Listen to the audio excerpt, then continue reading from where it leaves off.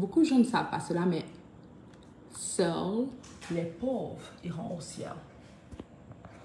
Seuls les pauvres. Amis, pour aller au ciel, il faut vraiment que tu sois juste pauvre, que tu n'aies pas d'argent, que tu sois misérable sur la terre, que tu souffres beaucoup sur la terre. Et si tu fais cela, Dieu va vraiment avoir pitié de toi et tu pourras aller au ciel. Donc, si tu vas aller au ciel, rejette l'argent, fais un vœu de pauvreté, ne parle jamais d'argent, s'ouvre tes factures, sois stressé par rapport à l'argent, pleure devant Dieu, sois misérable, porte des mauvais vêtements, des vêtements créés pour les gens défavorisés, et à peine de quoi manger. Mais prie et tu iras au c'est ce que la plupart des, gens ridicules à mon esprit, chrétiens disent. Ils disent aux gens que si tu vas au tu dois être pauvre. Comme si tu, si tu es riche. Dès que tu parles de l'argent, on dit que tu es antichrist. Are you kidding me? Comme, je ne sais même pas comment vous dire à quel point ça me fait très mal de voir des chrétiens décourager des chrétiens de pouvoir s'enrichir, de pouvoir s'enrichir pour le royaume de Dieu, de pouvoir construire, de pouvoir bâtir, chercher la promotion. Dès que tu un peu, dès que tu veux la promotion, Dès que tu veux réussir, tu veux faire de grandes choses sur la terre, on te dit non, non, fais attention, fais attention, fais attention. pour moi, c'est tellement ridicule. Je te dis pourquoi Tu crois vraiment que Dieu a créé toi en tant qu'humain avec moi, avec le commandement de nous demander de se multiplier, de se fructifier, de dominer la terre pour qu'on soit misérable et limité sur la terre.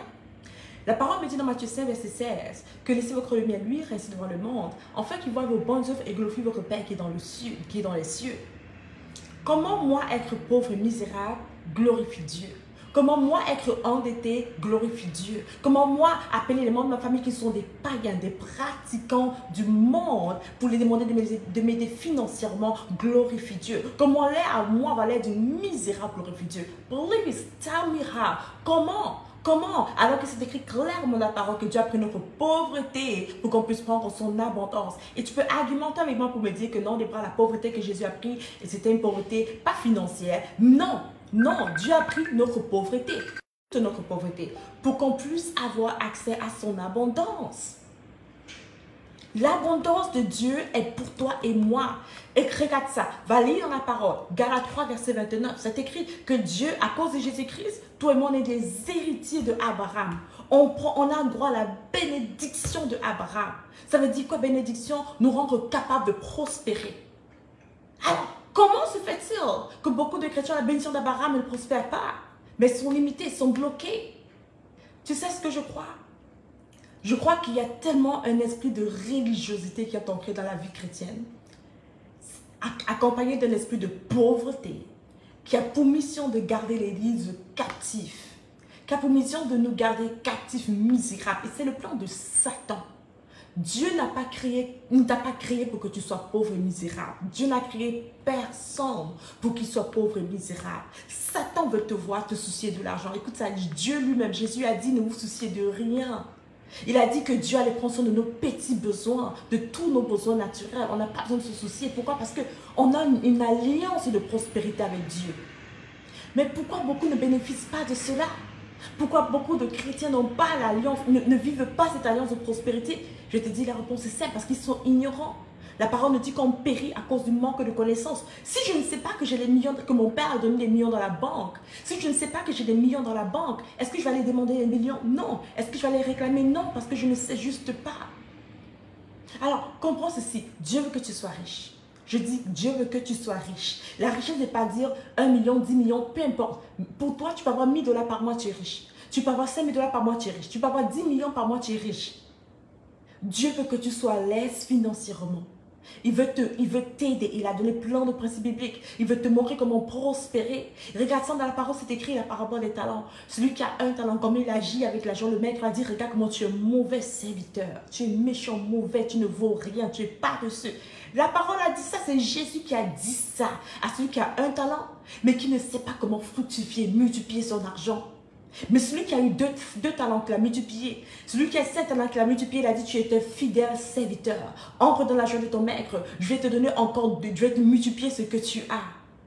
Est-ce que tu m'entends? Ça veut dire que Dieu est concerné par rapport à comment tu prends soin de ton argent, par rapport à comment tu travailles sur ton argent, par rapport à comment tu multiplies, comment tu investis. Il est intéressé à ta vie financière. Il dit, bien-aimé, dans 3 Jean 2, Bien-aimé, je souhaite que tu prospères à tous égards comme prospère l'état de ton âme. Tous égards veut dire quoi? Tous égards, et que tu sois en bonne santé, comme prospère l'état de ton âme. Tous égards veut dire quoi? Spirituellement, mentalement, physiquement, physiologiquement, oui, financièrement, maritalement, à tous égards, incluant la, la prospérité financière.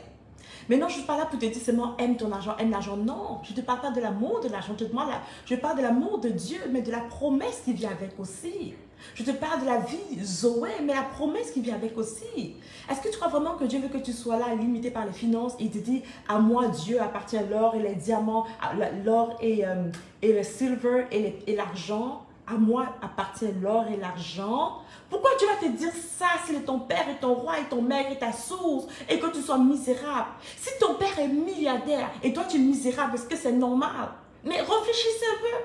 Si Dieu, si ton père, si ton père naturel est un multimillionnaire, ou même s'il a, a, juste un million, s'il est juste normal, est-ce que c'est normal que ton père soit un professionnel normal et que toi tu sois misérable? Bien sûr que non.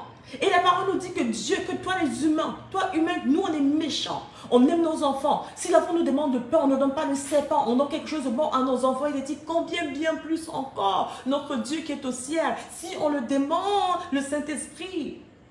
Si toi tu aimes ton enfant et que ton enfant te demande du pain, tu lui donnes du pain, il dit mais imagine, toi tu es méchant, tu donnes le pain à ton enfant. Imagine alors toi, le Père, Papa bon Dieu, lui qui est bon des bons des bons, ce qu'il va te donner si tu le demandes. Et il te dit, demandez, vous recevrez. Cherchez, vous trouverez. Cognez, la porte vous sera ouverte. Dieu veut que tu prospères, ma chère, à tous égards. J'écoutais un jour euh, Jesse Duplessis, un preacher, un homme de Dieu, puis il disait qu'il a posé la question au Seigneur, il a dit, Père, c'est quoi ton verset favori de la Bible? Après, il s'est dit, bon Seigneur, je, crois que tu aimes tous les versets de la Bible. Mais bon, est-ce que, tu as un verset favori de la Bible? J'étais tellement touchée parce que le Seigneur a répondu, Dieu a dit, yeah, j'ai un verset favori. Il dit, c'est 3 Jean 2. Bien-aimé, je sais que tu prospères à tous égards, comme prospère l'état de ton âme. C'est le verset favori de Dieu dans la Bible. Are you Are you kidding me? Le verset favori de Dieu dans la vie, c'est que toi et moi, nous prospérons à tous égards. Ne venez plus jamais me dire que Dieu veut me voir limité, Dieu, Dieu veut que je sois malade, que je sois misérable, que je passe au travers d'une relation difficile, de mariage difficile. Non, non, non, Dieu ne veut pas ça. Dieu veut que je prospère. Il veut que je prospère. Il veut que je prospère. Dans ce cheminement de prospérité, bien sûr, il y aura des moments où il doit devoir travailler sur moi et je vais peut-être passer au travers d'un désert, mais le désert est temporaire. Parce que le désert peut être là pour me former, mais le désert est temporaire. Dieu veut que je prospère, que je sois en bonne santé, un bon mariage, une bonne famille, que j'ai un bon cœur, que mon cœur soit pur. C'est pour ça qu'il a dit, comme prospère l'état de ton âme. Are you listening to me? Dieu veut que tu sois bien financièrement. Il ne veut pas que tu sois endetté. D'ailleurs, il te dit, la seule dette que tu dois avoir, Dieu te dit que la seule dette que tu dois avoir, c'est la dette de l'amour avec ton prochain. La seule dette que je dois avoir, c'est la dette de l'amour. La dette de l'amour. Il y a quelque temps, le Seigneur a réveillé mon mari. Mon mari il croyait que c'était, pourquoi pas, mais moi, honnêtement, avoir les dettes, pour moi, n'a jamais été un big deal, avoir les dettes. I was like, mais je suis payé, c'est pas un problème, right?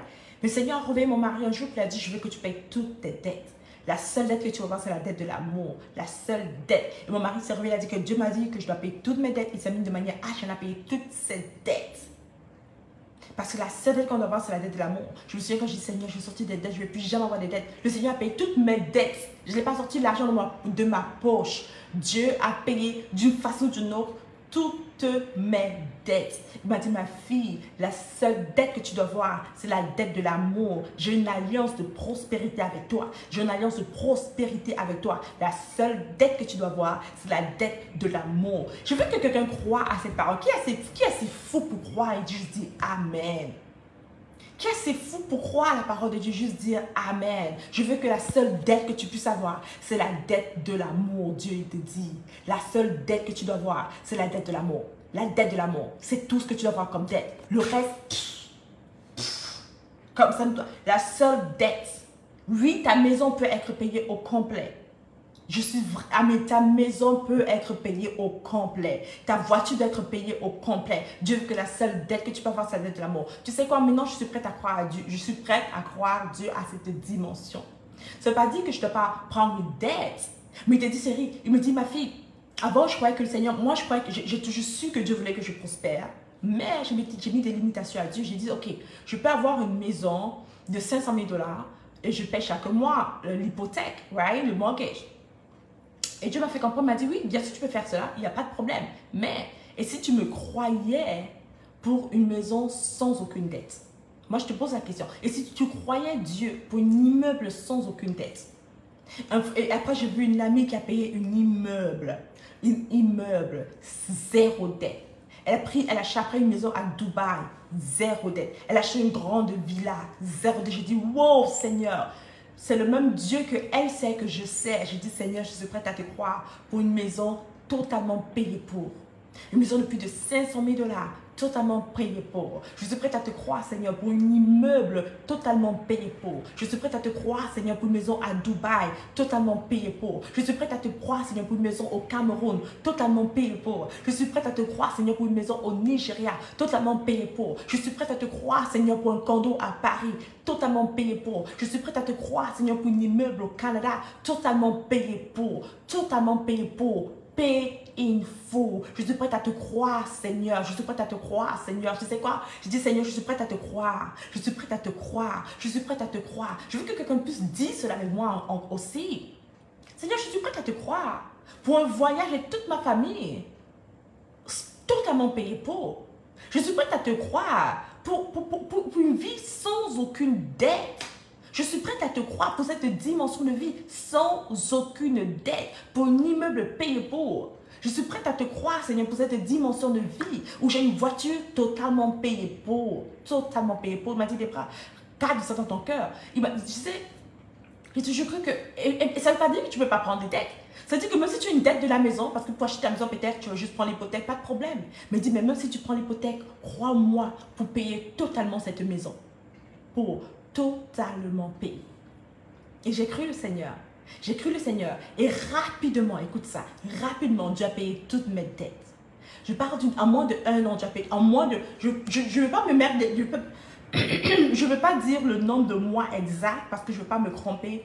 Mais je, si je, crois que c'est à peu près entre, entre 6 à 9 mois. Dieu a payé une dette de plus de 55 000 dollars, 54 000 dollars, à peu près 55 000 dollars environ. Il a payé pour moi et je n'ai pas sorti un, un sou de ma poche. Je n'ai pas sorti l'argent de ma poche. A payé toutes mes dettes. Toutes mes dettes. Plus de 55 000 dollars environ. Il a payé toutes mes dettes. Je veux te dire ce matin que Dieu veut payer tes dettes. Je veux te dire aujourd'hui que Dieu veut payer ta voiture au complet. Listen to this. Dieu veut payer ta voiture au complet. Peut-être tu as pris ta voiture, tu payes chaque mois pour ta voiture. Dieu te dit, ma fille, crois-moi pour une voiture totalement payée pour.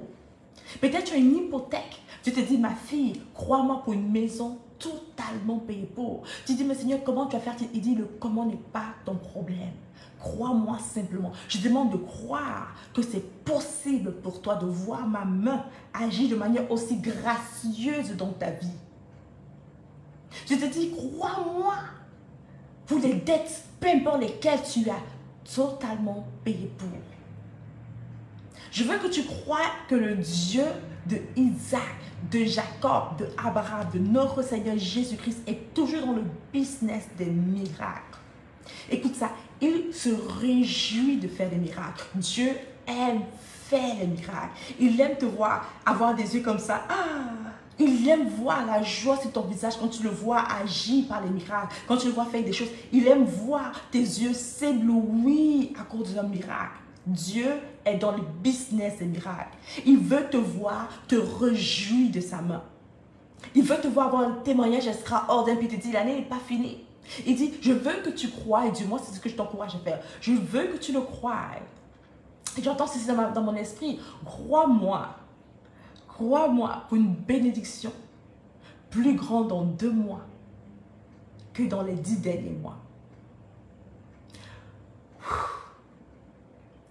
Le Dieu que tu sers est tellement vivant que, écoute ça, si tu crois que Dieu guérit les malades, qui croit que Dieu guérit les malades? Mets-moi le chiffre 1. Ok. Qui croit que Dieu pardonne les péchés? Mets-moi le chiffre 1. Good. C'est écrit dans la Bible. Je veux que tu crois que Dieu rend riche. C'est aussi écrit dans la Bible que Dieu rend riche. C'est écrit que Dieu. Il dit la bénédiction de Dieu enrichit et n'ajoute aucun chagrin. Dis avec moi, Dieu me rend riche. Seigneur, je reçois ta bénédiction qui m'enrichit et qui n'ajoute aucun chagrin. Je te promets que Dieu. Tu sais pourquoi je le sais? C'est écrit dans la Bible. Dieu a demandé à Abraham de quitter la maison de son père, qu'il allait le rendre riche. Dans Genèse 12, Dieu le bénit. Il dit la bénédiction. Qu'est-ce qui rend riche La bénédiction de Dieu? Écoute la parole vivante. Qu'est-ce qui rend riche la bénédiction de Dieu? Genèse 12, Dieu bénit euh, Abraham. Genèse 13, on te, on te, dit que Dieu valide. Genèse 12, Dieu bénit Abraham. Genèse 13, on te dit que Abraham est devenu très riche. Très riche. À cause de la bénédiction qui était sur sa vie. Et ce n'est pas seulement pour lui, mais pour ses enfants et les enfants de ses enfants et la génération d'Abraham. On te dit encore dans Genèse 26 que Isaac est devenu riche au point d'être très riche parce que Dieu l'a béni. Avant, dans le verset, dans Genèse 26, on te dit que Isaac est devenu riche, mais avant qu'on te dise qu'il était riche, on te dit que Dieu l'a béni. À cause d'Abraham, Dieu l'a béni. Il est devenu immédiatement riche au point d'être très riche. La même chose pour Jacob. Are you with me? La même chose pour Joseph. Joseph était tellement riche qu'il était l'homme le plus influent du pays. Et de tout le continent du monde. L'homme le plus influent de tout le continent. Après le, après le, le roi de tout le monde entier. Joseph était à ce niveau de richesse. David, Salmon. La parole continue. Et dans Galate, écoute-moi bien, dans Galate 3, verset 29, si je ne me trompe pas, la parole nous dit que toi et moi, on est héritier de la bénédiction de Abraham. On est héritier de la promesse de richesse, d'abondance, de bénédiction de Abraham. Therefore, on est partaker of his promise. On, on a droit à la promesse d'Abraham sur notre vie. Dieu veut que toi et moi nous soyons riches. C'est ça qu'il te dit, n'emprunte à personne, mais prête. Il te dit que tu auras tellement assez que tes greniers vont manquer d'espace. Tellement tes greniers seront remplis. Il dit qu'il va remplir ta coupe et ta coupe va déborder. Pour donner à ton prochain, ça va déborder. Il dit que ta coupe va déborder. Il dit que si c'est que tu es obéissant et que tu le désires, tu vas manger les, les du territoire les biens du territoire. Tu auras la Tesla, la Mercedes, la, la voiture luxueuse que tu désires. Tu auras les meilleures nourritures organiques que tu désires, les meilleures viandes, les meilleures choses vont se trouver dans ta maison. Ce n'est pas moi qui dis, c'est ton Dieu qui dit. Le Dieu que tu dis que tu crois qu'il peut guérir les malades te dit la même chose. Tu te dis, mais pourquoi tu me crois pour la guérison des maladies, mais tu me crois pour la santé, tu me crois pour, pour la délivrance, tu me crois pour la, le salut. Mais pourquoi tu ne me crois pas pour la richesse? Pourquoi tu ne me crois pas pour l'abondance? Tu le crois pour, le salut. Le même Dieu dans la Bible te dit que si tu confesses Jésus-Christ comme sauveur, tu iras au paradis. Tu le crois. Mais tout ce que je dis est dans la Bible. Crois-le pour l'abondance. La même manière qu'avec pas la foi, tu l'as cru pour, pour le salut, tu as juste confessé Jésus, comme, confessé comme sauveur et tu crois que tu au paradis. La même manière, tu dois croire que tu te rends riche. Tu dois croire que tu es co-héritier du Christ. Tu dois croire que tu fais partie des, des, générations d'Abraham et que tu vas recevoir la bénédiction d'Abraham sur ta vie. Que tu as une alliance de l'augmentation, de la croissance sur ta vie. Crois Dieu que tu seras abondamment riche, que Dieu va prendre soin de tes finances, de tous tes besoins financiers, matériels et tout ce qu'il faut avec. Confesse cette parole. Commence à dire à Dieu, commence à dire à Dieu ce qu'il a dit dans sa parole sur ta vie. Parle sur ta vie financière. Arrête, ah mais comment Si tu pries et tu dis Seigneur, pardonne mes péchés, et tu crois qu'il t'a pardonné tes péchés, parce que c'est écrit dans 1 Jean 9, comment se fait-il que tu ne crois pas ce qui est écrit dans Proverbe lorsqu'il te dit que sa bénédiction te rend riche, t'ajoute aucun chagrin? Si tu crois que la malédiction est réelle, que les sorciers sont contre toi, Jean 10, 10, le diable vient pour chercher qui va tuer, dévorer ou bien détruire, voler, détruire. Tu crois ça, tu crois ça? Pourquoi tu ne crois pas maintenant Jean 10, 10 en ceux qui nous disent ceci? Mais moi, je viens pour que tu puisses avoir la vie et la vie en abondance. Pas dans le ciel, sur la terre. Sur la terre. Sur la terre. Je vais nous voir prospérer sur la terre. Je parle, puis j'espère que pendant que je parle, l'esprit de pauvreté tombe, l'esprit de, pauvreté sort. Il commence à partir, commence à fuir de toi. Ce mensonge de la religion chrétienne qui t'a fait comprendre, qui fait que pauvre comme un comme, comme, il faut, comme une souris de l'église. Ces mensonges des églises qui t'ont fait comprendre que, que le saint, celui qui, celui qui est saint, c'est celui qui est pauvre. C'est faux. C'est faux. Tu peux avoir des pauvres qui ont l'amour de l'argent. Tu peux avoir des pauvres qui ont l'amour de l'argent et des riches qui aiment Dieu de tout leur cœur qui n'ont pas l'amour de l'argent. Ce qui est vrai, c'est qu'il est difficile. Il est difficile. Parce que quand tu es très riche, à un moment donné, tu te dis que tu n'as pas vraiment besoin de Dieu. Parce que la parole nous dit aussi dans Ecclésiaste que l'argent répond à tout. Donc quand tu es riche, à un moment donné, tu crois que tu n'as pas besoin de Dieu. C'est pour ça que Dieu nous dit, prête attention à notre cœur. La parole nous dit, prête attention à notre cœur. Elle te dit, à quoi ça sert de gagner le monde entier, de perdre son âme? Alors, il donne, les, les paroles d'avertissement aux riches aussi. Mais ça ne veut pas dire que tu dois être pauvre. Il te dit que la pauvreté n'est pas de lui, c'est du diable. Il dit Jésus est venu pour prendre notre pauvreté, pour qu'on puisse recevoir sa, son abondance.